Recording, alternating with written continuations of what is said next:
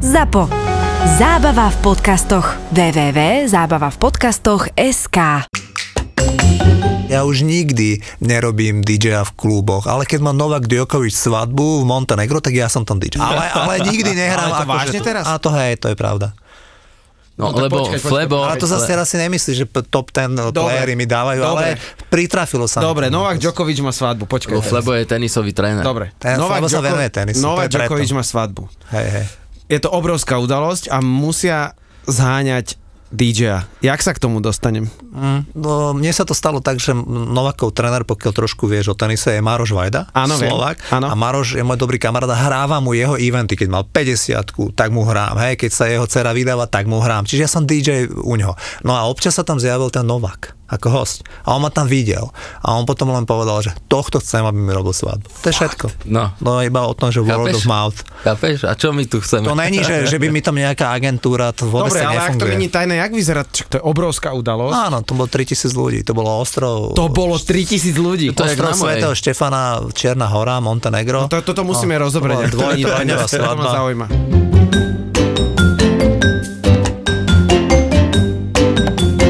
Štvorici na Pambici.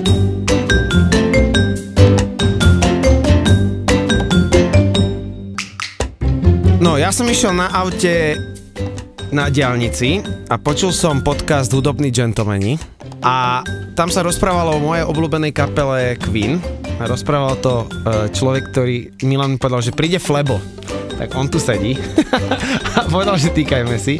A teraz mi povedal, že v 90 rokoch, že bol DJ. A ja mám akože ja mám z 90 rokov skúsenosť, lebo ja som v 95. akože som mal 12-13 som začínal. V 98.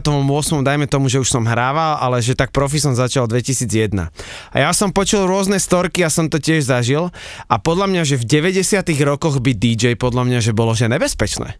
Lebo ja som tiež veľakrát hral, že že prišli typci veľké skrine a musel som hrať 2 hodiny, 3 hodiny po záverečnej do 7 do rána, že bolo to nebezpečné byť v 90 rokoch DJ? Bolo to veľmi nebezpečné. Napísal som o tom knihu, ktorá vyjde uh, 9. novembra vo vydavateľstve IKAR a bude vo všetkých relevantných knihkupectvách, ktorá sa volá že DJ, kde píšem veľmi podrobne storky z 90. rokov. Ja som mal takú smolu alebo aj šťastie, že keď som bol dobrý DJ, tak som bol v druhej polovici 80.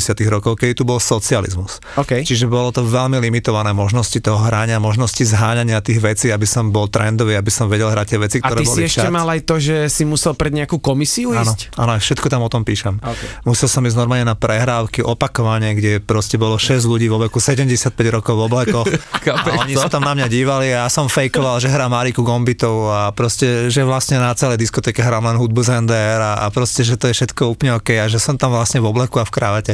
Hej, toto som tam musel Čiže zafejkovať. normálne Beatles hej, na začiatku kariéry vo vleku. A nechodili títo páni kind of majorovia kontrolovať? Áno, čo... stalo sa mi to.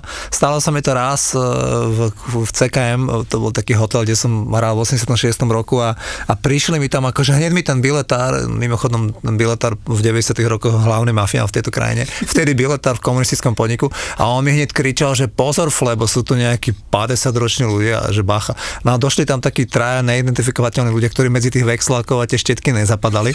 A oni tam, oni tam proste prišli do toho CKM a hneď sa pozerali na mňa. Ja som zistil, že tam hrá Michael Jacksona a proste funk a, a začiatok elektronické hudby a už to tam proste šlo. Veľmi trendový sme chceli byť.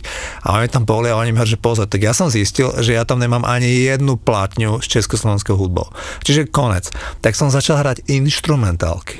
To boli na Bčku strana singlov instrumentálky a hovoril som im, že to je rumúnska kapela. A že, a, a, a že, že to je, lebo tam nebolo po anglicky. A tí ľudia tam proste boli a potom tí biletári, akože ich takým, nejak ich zobrali von, dali im tam nejaký koniak a tak ich tam trošku zblbli a potom ich vytarasili odtiaľ von a ja hneď, eš, ešte, ešte som ich videl chodiť jak idú hore tými schodami a už som to tam znova prášil a už som tam dával tú americkú hudbu.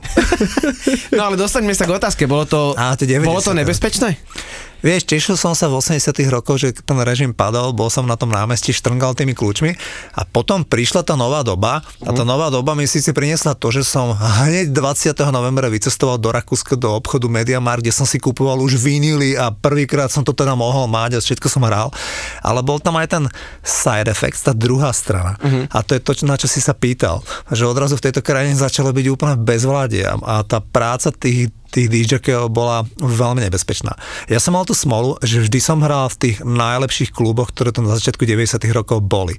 A preto hovorím, že smolu, lebo tam, kde chodilo veľa ľudí, tie Tam najkrajšie báby, a to, tak tam chodili tí najväčší zločinci. A bolo to naozaj veľmi nebezpečné. Zažil som veci, naozaj, nechcem promovať tú knihu, ale tam píšem akože srdce rvúce a dých berúce príbehy s tými zločincami, ktorí sú medializovaní, kde som proste do 3 švite na 7 do kolečka hral pre tých ľudí, uzavretý v podniku. Je to tam. Naozaj to bolo veľmi nebezpečné miesto, lebo často sa stávalo, že, že napríklad, a to boli úplne frustrujúce situácie, že sme vedeli, že nejaká policia ti v tejto krajine nepomôže. V 91. a 92. bola tu dosť anarchia. A keď prišli tí zločinci vydierať nejakého majiteľa diskotéky, ten človek sa nemal kam obrátiť. Bolo to úzkostné. Počul som o tom, že v strede diskotéky niekto musel hrať, že vaša patedla, že 7 krát za sebou, hej? Ja som hral Michaela Jacksona 7 krát za sebou pre toho človeka, ktorý tam chodil a terorizoval celé to mesto. Čiže našťastie nie je vaša patejdla, ale áno, to sa tam bežne dialo, bolo to veľmi nepríjemné. Veľmi dôležité bolo vždy v, v tom klube, akú ste mali security. Keď tam boli takí, že relevantní chaláni, ktorí poznali tých zločincov, tak sa to dalo tak urobiť, že si si ich tam dvoch, troch postavil k sebe a oni ťa ako tak ochránili.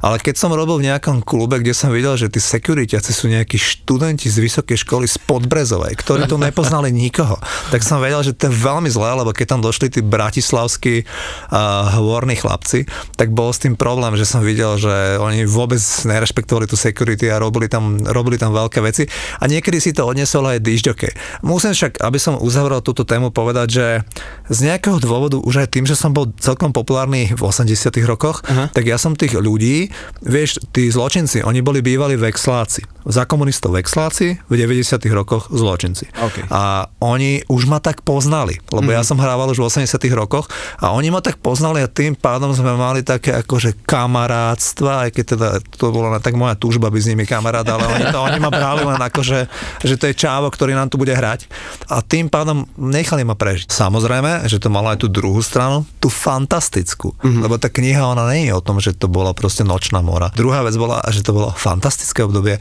viete, 90. roky, jak proste z ničoho nič tí ľudia boli s ostatným drátom tu obmotaní a zrazu bola tá sloboda a proste tí ľudia začali chodiť z davoch do tých klubov. Z ničoho nič sme začali hrať tú hudbu v 90. rokoch, akože bola skvelá, lebo bol nástup elektronickej hudby. To vtedy prišlo koncom 80. a 90. rokov, vtedy proste vstúpili Áno. tí najlepší DJ, ktorí proste robili a ja som proste mal možnosť, že ja som v 91. roku vycestoval do USA, ja som tam proste chodil po tých newyorských kluboch, to bolo niečo neuveriteľné z toho čierno-bieleho sveta Československej mm-hmm. socialistickej republiky a zrazu si v klube Webster Hall na Manhattane, kde hraje Robert Cliville zo CNC Music Factory, vedľa teba na parkete tancuje Madonna a ty tam si a pozeráš sa na to, že proste, že žiješ svoj sen.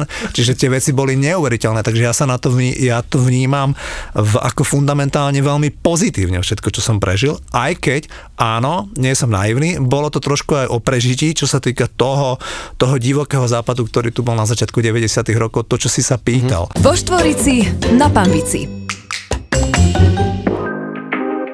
Keď sa vás niekto opýta, čo robíte cez víkend, tak v sobotu nemôžete. V sobotu ste doma a tešíte sa na nový nábytok. Lebo Kondela rozváža aj v sobotu.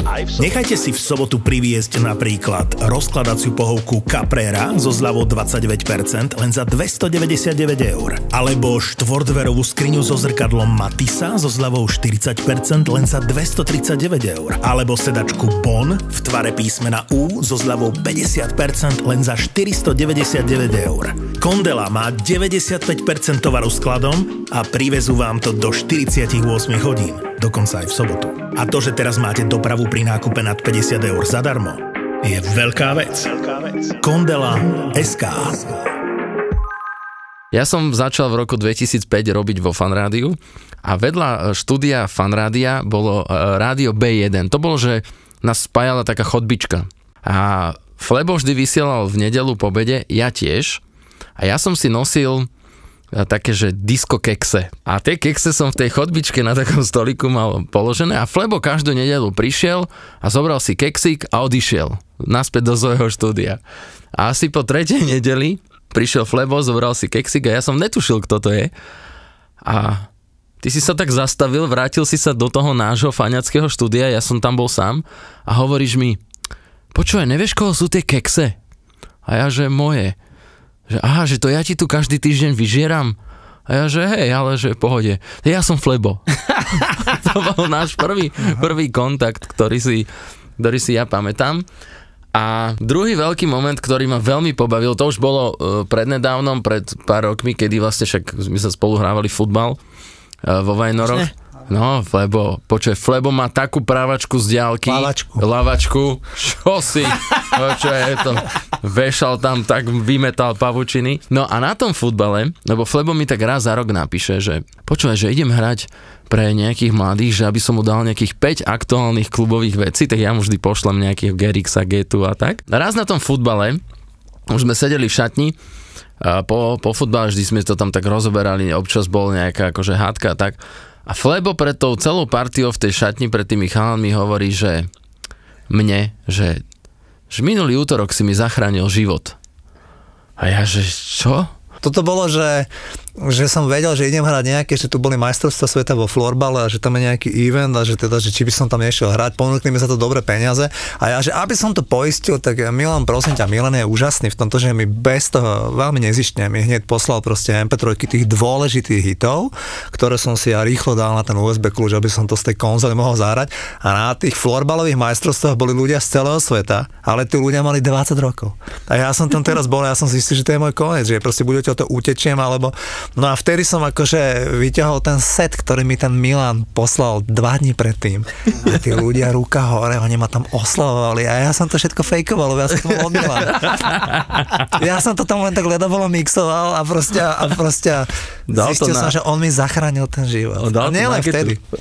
Robil mám pre jednu takú veľkú banku uh-huh. a, a tiež, akože vieš, ono to tak vyzerá, že chcú počúvať Village People. Uh-huh. Ale realita je taká, že ono sa to tak o druhej, jak sa to môžu len tí mladí ľudia, tie dievčiny, čo tam vidí uh-huh. za tými prepáškami a oni, oni zrazu začali za mňa chodiť fakt, že chcú Martina Gerixa a Davida Getu a, a to už ako ku mne tak moc nefituje, ale zasa mám tam taký, ja to mám normálne na USB kľúče napísané, že DJ Lieskovský set.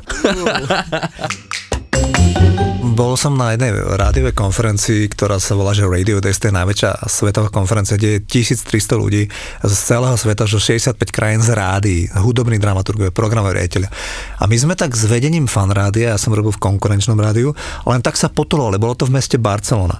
A my sme sa len tak potulovali večer a že kde si ideme niekde sadnúť a sadli sme si do takého malinkého podniku, proste pri mori, ktorý, ktorý e, prevádzkoval rumúnsky človek s rumúnskou barmanou barmankou. Rumunská barmanka s obrovským výbavou, proste vedel som, prečo tam bola nástrčená táto, táto dievčina. A ten týpek, ktorý tam bol, disjockey, barman, manažer, security, všetko. A teraz my sme si tam sadli a ten, ten kolega povedal, že chce piť jednu 12-ročnú whisky a tu whisky tam nemali. Tak sme sa proste postavili, že ideme prejsť, ale tento rumúnsky človek, keď videl tam 8-9 takých ľudí, ktorí, ktorí on usúdil, že sú akože dobre situovaní, tak on povedal, že nech si sadneme, že oni nám dajú tapas for free a že on ju zoženie. A on sa vrátil za 5 minút s tými dvoma fľašami tej whisky a my sme tam zatiaľ s tou obrovsky nádhernou barmankou tam konverzovali a jedli to. No a zrazu ten Rumún už videl, že my sme tak po tej prvej fľaše tak trošku rozbehli, prišli tam nejakí trošku náhodní ľudia a ten, ten DJ, on začal hrať, ten Rumún a on tam tak púšťal takú hudbu a do toho mi niekto tam povedal, že Flujbo, že sa mu tam pozrieť. Tak ja som sa pozrel, on mal napálené CD, kde nebolo nič napísané, iba napríklad, že, že disco. tam mal s fixkou napísané. A teraz ja, že čo s tým? No a proste, tak som tam začal počúvať a našiel som tam proste nejaké také veci a začal som to tam len tak púšťať a odrazu tak zdvihlo pár ľudí a začali tancovať. A, a tí ľudia, oni boli všetci tí účastníci tej konferencie, boli v ubytovaní hoteli, ktorý sa volá Des Arts, ktorý je 5 hotel, kde stojí izba 240 hore. A tam boli tí najväčší ľudia z tých, z tých Z100 z New Yorku a tí manažeri, brúste bohatí ľudia. A šéf MTV a tak. A oni zrazu tam z tej nudnej recepcie sa začali tam presúvať do tohto, do tohto západnotého baru. A aby som to skrátil, o, o 12 v noci tam bolo asi 300 ľudí, všetci títo ľudia, tí účastníci tej konferencie, ktorí tancovali na stolo. Bol tam jeden významný človek zo Slovenska, ktorý to dokumentoval a hovoril mi, že pozri sa, hen na tom stole je šéf MTV Europe, hen tam ten je francúzsky šéf Energy a tam tí ľudia boli úplne odviazaní. A ja som tam robil disjockey, ale striedal ma ešte jeden disjockey, ktorý sa volá Fredrik Severin, ktorý je hudobný riaditeľ MTV, Švéd taký veľmi dobrý chalan, tak ten, lebo ja som nechcel stále len hrať, sa som aj ja s nimi popíjať, tak on niekedy vybehol a z tých rumunských napálených sedečiek sme tam urobili akože dobrú žurku, ktorá trvala do úplne skorých ránych hodín. Toto je flebo. Stretol si sa aj osobne, alebo mal si tú, tú šancu alebo možnosť e, s týmito ľuďmi rozprávať o začiatkoch MTV a takéto veci, že prečo vlastne MTV spravilo to, že oni opustili od videoklipov a oni začali viacej robiť kind of reality show, akože jasné vtedy boli, že Beavis a uh, Butthead boli, Áno, pamätám. toto boli pre mňa ikonické veci, ktoré boli vlastne ako keby hudobný South Park, by som to povedal. To znamená, že ale MTV potom už boli také meme obrázky, že and what about music MTV? To znamená, prečo oni z toho upustili, keď oni boli naozaj tí nosní ľudia, ktorí prinašali, že kokos do Zapol MTV bol úplný frajer. Hej, to hej. boli úplne trendy. Ale to bolo úplne, že. No. to bolo úplne trendsetterské vysielanie. A tú príhodu, ktorú som vám rozprával, na ktorú sa Milan pýtal, je z roku 2008. Čiže už, to je, vieš, že 13 rokov dozadu, už vtedy ten človek tam nepracoval a robil pre jednu švédsku rádiosieť, ale bol ten človek, ktorý bol ten hudobný šéf a ja som sa skôr vypytoval, že jak sa tam plánuje hudba. A on mi to vysvetloval, že sa to plánovalo úplne ako v rádiách. Ten istý selektor, tie isté rotácie, že ako plánovanie, to mňa zaujímalo, ja som music scheduler, ja celý život plánujem hudbu, ja, ja robím hudobné prieskumy, ja robím toto, hej, ja som hudobný šéf. To znamená, že ja som strašne sa zaujímal o to, že na ako, ako sa tam robia tie researchingy na to. A on mi to vysvetloval, že teraz robí v rádiách a že v MTV sa to robilo takisto. Že presne také isté focus group, a presne také isté rotácie, keď fičala Madonna Hang Up, tak išla každú hodinu 20 minút. Čiže mali tam úplne nastavené tie rotácie, celé mi to vysvetloval, ale to, že prečo sa tam teraz, ja viem, to je nesledovateľné pre mňa tá MTV, že vraj sa to dosť presunulo na VH1, lebo to je údajne jeden akcionár a oni, oni vlastne na VH1 dali tie klipy a na tom MTV sa dejú tie veci, ktoré, neviem, máš pravdu, ja to vôbec neviem, ako to sa nedá ani sledovať. No, ja by som chcel prejsť teraz k takej etape tvojho života, že Charlie's Pub, Bratislavský. No, tam boli tie veci. Toto mi, toto mi hovoril Milan, že toto on keď začne rozprávať. Tam boli tie veci. To bolo tak, že, že ja som do 92. roku hral len klubovú hudbu z vinilových platní a proste len toto, čo vás zaujíma. Ale v 92. roku uh, prišiel sem taký rakúsky občan, ktorý sa to ako prvý pre mňa, prvý možno, že nebol úplne prvý, ako cudzinec, otváral pub. Ten pub sa volal Queen's Pub, to bolo ešte predtým, to sa nachádzalo hneď vedľa Dimitrovky. A on tam zháňal DJ. A ja som tam proste prišiel, alebo mi to niekto sprostredkoval, aby sme sa stretli a on mi povedal, že by chcel, aby som tam u neho robil DJ a bla bla bla. Ponúkol mi výborné na tú dobu, ešte som nikdy nemal také dobré podmienky. A lenže on odo mňa chcel, že tam sa musí hrať roková hudba, lebo to je pub, krčma. A ja mu hovorím, že moment, ale že ja sa, ja sa vôbec nevyznám v rokovej hudbe a vôbec s tým nič nemám. A on, že to sa musíš naučiť. Že ja ti nakúpim CD, ja ti to všetko dám a že nauč sa to. A ten človek ma na to nejako nahovoril. A ja som proste tam začal miesto, miesto CNC Music Factory a proste Black Box a všetkých tých vecí, ktoré vtedy fičali, ja som začal hrať Nirvanu. A ja som sa to naučil, ja som sa to naučil, tí niektorí DJ chodili na mňa, najprv na mňa pozerať, že to nemyslíš vážne. Vieš, ja som tam hral grunge. A oni, a, tak, a ja som to tam hral a začalo to fungovať, začal som mať veľmi dobrý vzťah s tým Rakúšanom a po 1,5 roku kedy ten podnik neuveriteľným spôsobom prosperoval. Tam som videl najväčšie množstvo kokainu a všetkých tých vecí vo svojom živote. Tam chodila celá tá hrska. To sú ľudia, ktorí dnes sú v Európarlamente alebo v Národnej rade Slovenskej republiky, alebo sú mŕtvi. To už len tretia možnosť. Všetci títo ľudia tam boli. Ešte, takisto o tom píšem. A títo ľudia tam chodili, ten podnik neuveriteľne prosperoval. Jediné, čo ho narúšalo, bolo to, čo si ty povedal v úvode, že sa tam z času na čas javili tí zločinci, z ktorých som sa báli a ktorí tam občas narobili nejakú zlobu. A, čiže to bol jediný taký že negatívny aspekt ostatné aspekty boli fantastické od toho, že ten Rakúšan sa k ňam, teda ku mne, neskutočne dobre správal, dával mi za to úžasné peniaze, platil mi taxi, ktorý ma vozil tam a dnu. Akože ja som tam mal neuveriteľné podmienky na tú dobu, takže mne tam bolo nádherne. A po 1,5 roku mi ten Rakúšan povedal, že počúvaj, my ideme ešte s jedným mojim biznis partnerom otvoriť v centre mesta taký podnik a že tam by sme chceli, aby si to rozbehol. A to bol ten Charlie's Pub. A tam on ma tam, ja som v Charlie's Pube pracoval od prvého dňa po posledný, ja som ho zavrel a potom som odozdal kľúče. Od roku 94 do roku 2002, 8 rokov som tam prežil, každú noc. A, a jak som tam začal pracovať, tak to bol taký vieš, bezútešne vyzerajúci podnik bez okien v podzemí, veľký, čiže keď tam bolo 100 ľudí, to vyzeralo prázdne. Ako, tak na mňa to zle pôsobilo, ale neuveriteľne sa to vypracovalo. Som úplne si istý, že od roku 94 do roku 98, prvé 4 roky, mal bezkonkurenčne najvyšší obrad v meste, úplne neporovnateľný. Hej, tam sa proste prepíjali 100 tisíce denne korún. Takže to akože neuveriteľne fungovalo, takisto tam chodili všetci tí ľudia, hrala sa tam alternatívna hudba, rocková hudba. To znamená, že tam naozaj, že, že tam nikdy nehrala sa, že, že MC Erika Barbara alebo niečo. Tam sa hrala rocková hudba a potom mali sme tam kolegu, ktorý tam so mnou pracoval, ktorý bol veľmi úspešný promotor elektronických akcií, sa volá Dano Čečetka, možno, že ho niekto z vás pozná. Tak on tam bol so mnou partner a on, mi povedal, že Fleby, že robme tam občas, takže dvakrát do mesiaca house party. A ja, že jasné, tak sme celý Charlie Pub zabalili do Alobalu, zavolal tam DJov z Čiech, zo Slovenska, Toky napríklad bol, to by ste mohli poznať. Jasné, jasné, tak to bol rezortný DJ, ktorý tam chodil hrať a potom oni vždy zohnali nejakých ešte DJov z Rakúska, občas z Británie a tí tam boli.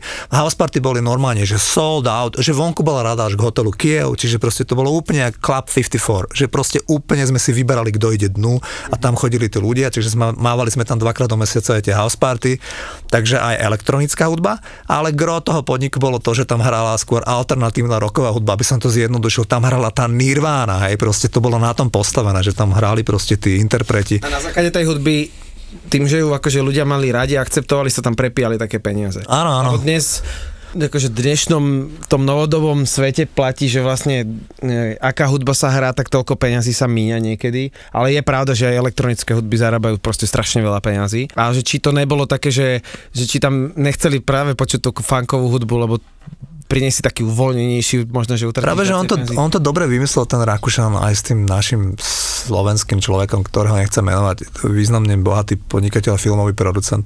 A ten človek, oni to tak dobre vymysleli, že aby sme tu nemali proste akože takú tú no, chamrať, tak nebudeme tu hrať nikdy mainstream, ale budete hrať tak a na tú Nirvánu a proste na tie, na tie alternatívne kapely a na ten Pulp Fiction. To boli úplne, že zvučka Pulp Fiction štartovala tú diskotéku. Tak na to tam chodili taká tá intelektuálnejšia, takí tí z mesta. Uh-huh. Takí, tí, takí tí ľudia, ktorí, vieš, vieš, Ďuro Droba mi tam robil za barom. Akože len aby ste to povedali, tam proste všetci tí ľudia, ktorých dnes vidíte, že v SAS a takto, oni boli tí naši hostia, oni boli mladí ľudia. Čiže títo ľudia tam chodili a oni všetci fičali na tom Pulp Fiction a Trainspotting, keď si to trochu jasné, pamätáte. Jasné. Čiže vieš, a to, tam boli aj kinosály v tej, v tej budove, tam sú asi dodnes. A čiže to bolo také trošku ako high society. Tí ľudia síce chodili v otrhaných riflách a v tých svetroch jak Kurt Cobain, ale tí ľudia mali peniaze a vzdelanie. Tam nikde nechodila svoloč. Tam chodili vždycky dobre situovaní ľudia, ktorí mali peniaze na to, aby tam pili drahý alkohol. A napriek tomu, že boli independent, trošku nezávislí, mm-hmm. ale bola to taká smotánka. Toto všetko sa dozvieme aj v tej knihe? Alebo že aj takéto áno, pointy? Áno. V tej a knihe. koľko stranov aj? Alebo... Je to moja prvotina, ja som nie spisovateľ. Tá kniha má 136 strán, čiže to je úzka kniha, tu prečíta za dva, A kedy to hodiny. vychádza? Tá kniha vychádza 9. novembra. Vo Štvorici na Pambici. Stala sa mi tam taká vec, že v roku 2001 tam zabili človeka a, a stala sa tam proste vražda, ktorá bola titulkovaná všade v novom čase a toto, proste nič sme s tým nemali, ale nejaký hlúpak tam proste zapichol človeka kvôli nejakej babe, a, ale zomrel ti v tom bare. Čiže sa tam potom diali tie šialené veci, rekonštrukcie a chodili sme vypovedať na policiu.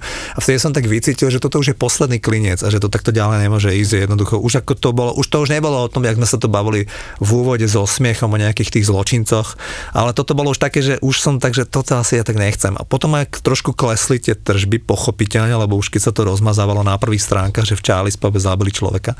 Takže už to bolo také, že a vtedy som si sádol aj s tým uh, mužom, ktorý bol nado mňou, ten človek, ktorý mi prenajamal ten priestor a povedal som mu, že by som to chcel v lete roku 2002 zavrieť. A ten rok 2002 bol úžasný v tom, by sa vás možno zaujímalo, že viete, že v máji roku 2002 Slovensko sa stalo majstrom sveta v hokeji. Áno. A to chcem povedať, že tá atmosféra, ktorá vtedy vládla v tú noc v tom podniku, je úplne neopakovateľná. To, to ani v novembri 89, kedy padal ten režim a kedy bola obrovská eufória v uliciach, čo si vy trošku menej pamätáte, lebo ste boli mali, tak tá atmosféra, ktorá bola v maji 2002, keď Slovensko vyhralo s tými Rusmi to finále, bola taká, že tí ľudia tam prepili niekoľko stoviek tisíc. Nikdy som tam nemal ani na Silvestra, nikdy som tam nemal porovnateľnú tržbu. Už o 12. v noci bolo všetko vypité v tom podniku. Napriek tomu, že sme boli pripravení, lebo sme to v finále premietali, je, ako každý ten zápas. Tak e, vtedy bolo len v Petržalke otvorené non-stop Tesco, to bol prvý taký, keď si pamätáte, tak ten môj kolega manažer, on mi tam chodil stále s tým autom dokupovať tú tekilu, vodky a tieto veci. Také, že súdové pivo, to, to, to, to, nebola šanca, to bolo dávno vypité. Tam prichádzali davy tých ľudí s tými zástavami a chceli chceli piť, chceli piť do 3 na 7 ráno a my sme im proste nalievali proste tie veci, ktoré sme tam mali. Tí ľudia nám tam vypili úplne všetko. Mne sa toto stalo v Humenom. že o 3 čtvrte na 12 došiel prevádzkar, že e, vieš, musím ísť do Sniny, do konkurenčného podniku, že vykúpiť im všetku vodku, lebo není. A to bol nejaký úvod školského roka alebo niečo také. Nemali. Všetko sa vypilo. Najväčší festival Tomorrowland e, vydal najlepšie švedské skladby, ktoré boli teda od Aviciiho Swedish House Mafie a nikdy som sa nestretol vlastne s z odborníkov, ktorý by mi to vedel nejako akože vysvetliť, že Švédsko ako také.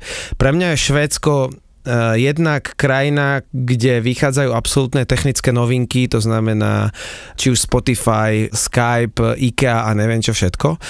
A ďalšia vec, že my sme to minulé rozoberali, že zo Švédska vychádza tak strašne veľa kvalitnej hudby, E, to není len ABBA, Roxette a neviem čo, ale je to strašne veľa, čo sa týka tanečnej. A keď tu mám odborníka, som sa na to musel opýtať, nikdy som to nevedel nájsť, či je na to dokument. Prečo Švédi alebo Švédsko ako také to má v sebe to. Tam je strašná koncentrácia melodickej hudby ako takej. Zaujímavé, ako keby sme mali pripravený tento rozhovor, lebo, lebo a pritom ťa poznám pár minút, že naozaj to Švédsko teraz ja som si k nemu veľmi našiel cestu, lebo máme tu asi 16 rokov konzultačnú firmu Radio Intelligence zo Štokholmu a ja som sa s nimi skamarátil, lebo ja som taký ten človek, že sa hneď stimuluje. A ja som už tam niekoľkokrát bol, ja som tam bol so ženou na dovolenke, ja som proste prešiel to Švedsko z juhu na sever, čiže ja to Švedsko mám. A to Švedsko je normálne, že jediná krajina, ktorá ma fascinuje. Ja som ten človek, čo som prežil roky v Spojených štátoch, ja mám prechodený ten svet to na to všetko zabudnete. To Švédsko mne príde z môjho pohľadu a dostanem sa aj k odpovede na to len ako tá najlepšia krajina na život, čo som to teraz zažil. Ja mám veľmi rád Slovensko, ja sa tu cítim veľmi dobre, ja to tu mám rád. Ale, ale to Švédsko, to mi normálne, že príde, že to naozaj sa blíži k tomu, že je to tam tak robené, tá kvalita toho života, že aby tam tí ľudia, každý, kto tam chce žiť, bol šťastný. Že naozaj, že to je socialistický štát.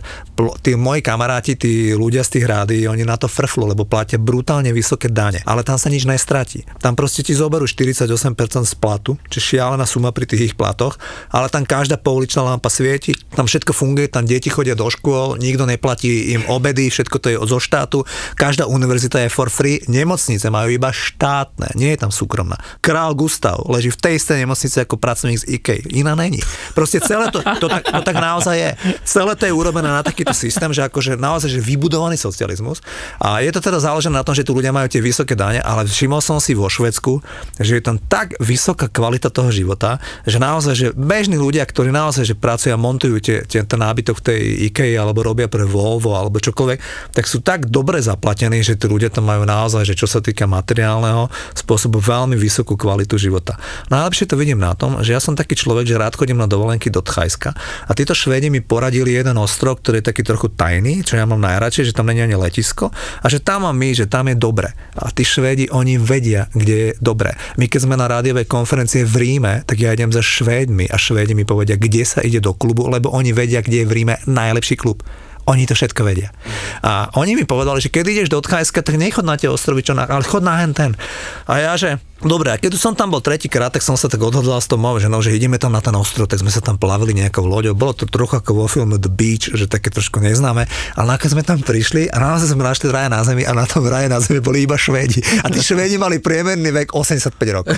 Tam proste, tam dôchodcovia vo Švedsku, čo u nás, žiaľ Bohu, vrátane tých dôchodkov, ktoré sú akože strašne príšerné, tak my tu máme súcit tým dôchodcom, lebo vidíme, že tí ľudia majú existenčné problémy s kúpou liekov a podobne. Vo Švedsku je to tak, že tí ľudia, ktorí majú 85 rokov a žijú, a, oni žijú, lebo oni žijú dlho, tak oni idú na trojmesačný trip do Thajska, kde ich masírujú tie 25-ročné Thajčanky a oni tam na tom bielom piesku ležia. Tí 85-roční ľudia. Ja neviem, či to tu môže niekde existovať, hej. To sú akože moje rodičia asi sotvadajú.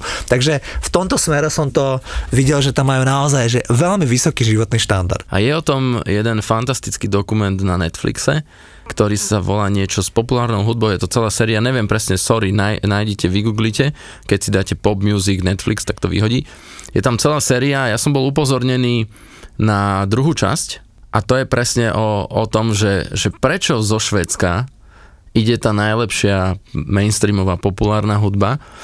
Je to 45 minút, ja som nezavrel ústa a ne, nedýchal som, keď som to pozeral a spomeniem iba na motávku, že tam tí producenti, ktorí tú hudbu robili od Britney Spears cez Bon Joviho, Pink a tak ďalej a tak ďalej, dosiahli level, že formácie ako Backstreet Boys, ako tá Pink a tak ďalej a tak ďalej, Celine Dion a podobne, si kupovali letenky za svoje vlastné peniaze za tými chlapcami, ktorí mali štúdio v budove, ktorá vyzerala ako dom služieb u nás v Dubravke.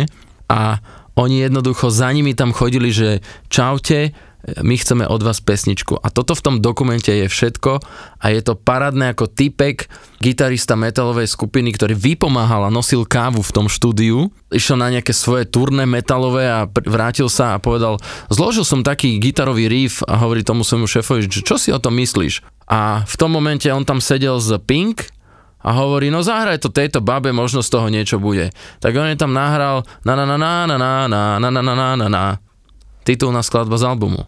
Ja by som odporúčal všetkým pozrieť si tento dokument o, o šve, že prečo vlastne švédska hudba je ako keby najsilnejšia. Je to presne od, hovorí tam typek z Aby a on je v nejakej oni ak skončili v AB, tak on je v nejakej komisii a v nejakej autorskom zväze, niečo pravda. také. Akože... Benny Ulveu sa volá, je to pravda, on sedí ako šéf, čo sa týka tých kreditov, to je jak Soza u nás.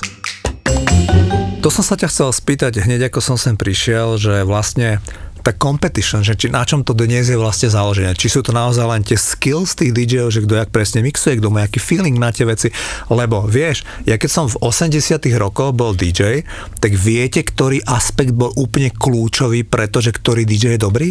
Ktorý zohnal tie nahrávky. To je dnes preč, pretože dnes BAM v Michalovciach má tie isté veci, ktoré mám v kufriku tuty, ktorý robíš. To je, rozumieš, že to to isté, každý si to dnes vie, ale v 85.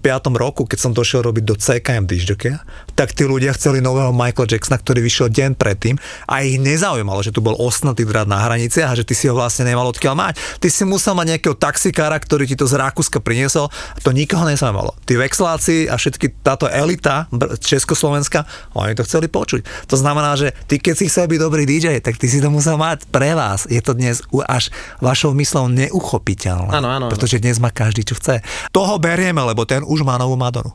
V 90. rokoch, kedy si tí ľudia už vedeli tie veci nakúpiť, tak e, vtedy bolo podľa mňa, že prečo som ja bol taký, že som hrával v tých dobrých kluboch a vychytený, lebo som mal ten feeling. Oni chodili na fleba, lebo tam bolo 1300 ľudí, ktorí stáli na stole.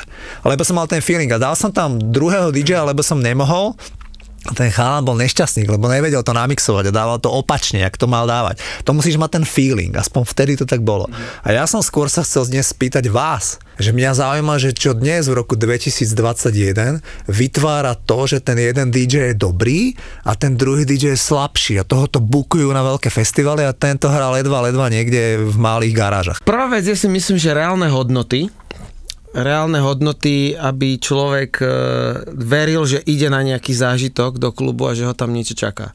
Totiž novodobým DJingom a to, ako na YouTube si všetko vidíš, je pre človeka urobené tak, že on si myslí, že to, čo technologicky vo videu vidí a je ako keby hmatateľné a ide, ja neviem, do Holandska za ja neviem, 70 eur za letenku, tak môžeme technicky dosiahnuť aj tu na, na, na Slovensku. Len niekedy v tých kluboch je to také, že tá ekonomika ti nedovolí mať ten akože novodobý taký ten status tej, ja neviem, tých zvuku, svetiel a tej technológie. To znamená, že stále ľudia chcú stimuly, chcú zážitky a stále ich potrebujú mať, aby keď ten DJ vystupí, aby keď on zaplatí, ja neviem, 5, 7, 10 eur, 10, 12, tak aby dostal zážitok. A od toho DJ musia dostať poprvé zážitok, kvalitné vystúpenie a v neposlednom rade promo, ktoré si vyžaduje extrémne veľa času na sociálnych sieťach, e, videosetoch na YouTube. To znamená, že je to niekedy oveľa viacej to mimo ako je hudba. Primárne je to na hudbe postavené, tá hudba je prvá. Ale musíš okolo seba robiť každý rok nejaký progres, čo sa týka sociálnych sietí, aby si bol stále relevantný, pretože prichádzajú mladí typci, ktorí, ja neviem, streamujú po, po nejakých portáloch, kde napríklad ľudia sedia doma a potom ich chcú vidieť naživo, to znamená, že stále tam musíš vytvárať okolo seba hype, to by som povedal. Môžem sa teraz ja položiť pár otázok. Mm-hmm. Do akej miery, keby si mi tak percentuálne odpovedal ty aj Milan, že je dnes dôležité to, ako presne ten DJ mixuje. Je to veľmi dôležité, lebo je to hneď počuť. Pri klubovej hudbe je to najdôležitejšie. Je to stále veľmi Je to, vysoký je to, atribút. je to, je to Áno, úplne, aha, dobre, je to najvyššia pozícia. Tam je to hneď počuť. A, dru, a, a aký, aký dôležitý aspekt je feeling, alebo nazvime to výber. Hneď za tým. Hneď za Hneď, tým. vieš čo, ja si presne to by som chcel doplniť, že je dôležitý ten feeling aj v dnešnej dobe, lebo je síce pravda, že stiahneš si hoci čo od hoci koho, od hoci dial, ale stále platí, že ono, ono sú aj nejaké také vzorce vyrátané, že aké akordy máš použiť, aby si bol úspešný v pesničke. A jednoducho, ja si myslím, že, že ten DJ musí sledovať to dianie na tom parkete a musí vedieť odhadnúť, že OK, teraz dám toto, lebo viem, že buď ich preberem, alebo to ožije, alebo potrebujem ukludniť, alebo niečo, niečo, niečo, keď chceš tú noc nejako ťahať. A toto si myslím, že presne ako hovorí Miro, že to sú, stále sú to dva veľmi dôležité aspekty. Vo Štvorici na Pambici. V 80. a v 90. rokoch DJ neprodukovali veci, ale DJ, ktorí boli výborní, najmä som to zažil, keď som býval v štátoch, remixovali veci. To znamená, že boli DJ, že Frankie Knuckles, CJ McIntosh alebo John J. Bean Benitez, ktorí remixovali pre Madonu, Cindy Lauper, Michaela Jacksona. Čiže tá Madonna, ona keď to vydala, tak ona chcela, aby remix urobil J. Bean. A ten jej urobil z tých vecí tanečné remixy, ktoré sa potom hrávali v tých kluboch. Čiže vedel som, že tí špičkoví DJ, ktorí hrali v tých dobrých kluboch, kde som ja chodil ako návštevník, tak oni boli známi tým, že ty kokso len remixoval plátňu pre Madonu. Toto je presne aj v tom dokumente, o ktorom som hovoril, že, že skladba od Ace of Base All That She Wants, ich vlastne prvý, prvý veľký hit, oni vedeli dopredu, že to bude hit, lebo presne ten, zabudol som meno, Denis, Denis, uh, švedský producent. Áno, áno, áno. Denis, Čavo v tom dokumente, ja ne, akože neberte to vzlom, ale on fakt vyzerá jak spotená socka. A jeden z najúspešnejších DJov a potom producentov všetkých týchto Backstreet Boys a tak ďalej. Tak oni ho nejakým spôsobom našli a mali tú nahrávku tej pesničky, dali mu to, on to nejakým spôsobom podkopol a začal to hrať na svojich diskotékach ako totálne neznámú vec a tam vybuchovali tie kluby, čiže oni vedeli, že, že aha, funguje to v klube, a to boli presne 90. roky, Á. Ace of Base, funguje to v klube, poďme to doťuknúť a, a dotlačili ho k tomu, aby sa to dokončilo a zrazu tak aj bolo number one, neviem koľko a neviem kde všade. Dnes je napríklad výhoda, že máš, máš nejakú skladbu, a že, ktorá vyjde ráno a ty si ju po obede vieš tak zeditovať, že si úplne unikátny. A toto je tá vec, ktorá je ešte posledná vec, byť unikátny. Á, rozumiem. To znamená, že ty si môžeš spraviť taký bootleg, taký, taký remix, ktorý nikto nemá a máš ho ty, že sa ľudia dopytujú a, a nemusíš ho riešiť, či vôbec vyšiel na nejakom labeli alebo tak, že to dneska absolútne nefunguje, že, že si to spravíš. Takže taká, že ja by som to uzavrel, že, že unikátnosť.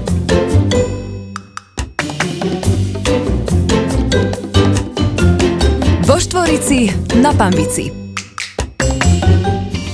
Presne v tom období, keď ty si mal rád toto, ja som mal rád ten album Ten od Pearl Jam. Oni vyšli úplne v rovnakom čase, viac Ale tak Jeremy je tak silná pesnička, čo si myslím, že to je presne ako bol Smells Like Teen Spirit, tak pri Pearl Jam je Jeremy. To je tá pesnička, ktorá v podstate rozkopla tie dvere a už ostali navždy otvorené. Mm, a že vraj gentlemani, vykopnuté dvere, holé baby, Nahrávalo sa to teda na futbalovom štadióne vo Wimbledone v Londýne, kde nahovorili dokonca nie 30, ale údajne asi 40 profesionálnych modeliek, ktoré bez nejakých problémov donútili k tomu, aby sa tie modelky úplne vyzvekli do naha a na bicykli chodili okolo toho štádionu. A tam z toho natáčali ten kontroverzný videoklip, ktorý sa žiaľ nikdy moc nejak neuverejnil, lebo dokonca dodnes je na YouTube e, zakázané, lebo je tam nahota. príbehy pop music v podaní hudobných gentlemanov Juraja Čurného a Fleba. Adam Clayton, práve v, keď sa nahrával ten album Achtung Baby, tak ten Adam Clayton, on bol jediný z YouTube, kto, lebo ako vieš,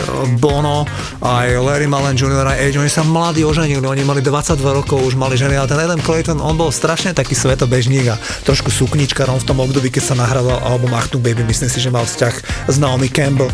A tomu Adamu Claytonovi sa v 89. roku stala udalosť, že bol dokonca zavretý. Lebo, Marihuanu. Hej, našli mu marihuana, mal nejaké problémy s tým, bolo aj úplne evidentné, že bol silný užívateľ tej drogy a, a trošku sa mu to vymykalo spod kontroly. Sex, drogy a rock'n'roll v novom podcaste v produkcii ZAPO. Hudobní gentlemani. Keď si zoberieš, eh, keď bol Band Aid Do They Know It's Christmas, no kto spieval z Vem, aj keď tam boli obidvaja? No George Michael. Áno, a ty vieš, kvôli čomu ten Andrew Ridgely tam figuroval v tom? To neviem, priznám sa, že No a Juraj sa priznal. V prvom hudobnom podcaste, ktorý nepotrebuje playlist. Garantujem vám, že po každej epizóde hudobných gentlemanov dostanete chuť minimálne na jeden album, ktorý si okamžite stiahnete do telefónu. Kedy ste naposledy počúvali Achtung Baby od YouTube? ZAPO má nový podcast. Hudobní gentlemani s Jurajom Čurným a Flebom. Zapo. Zábrná v podcastovách.